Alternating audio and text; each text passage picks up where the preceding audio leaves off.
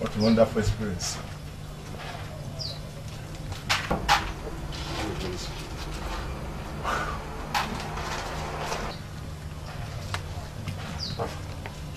Woman, didn't you see me? You didn't greet me. And why should I greet you? For ah, what? Uh-uh. Why won't you greet me? I left home over a week ago for hunting. Of course you should greet me. Can you just leave me to have some peace in this house?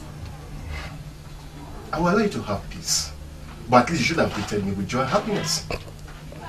I think I should better go inside to avoid this. so much talk.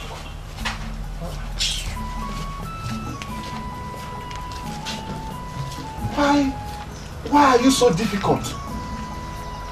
Oh, okay, what did I say wrong here? I think I need some rest too. What did I cause with my hands?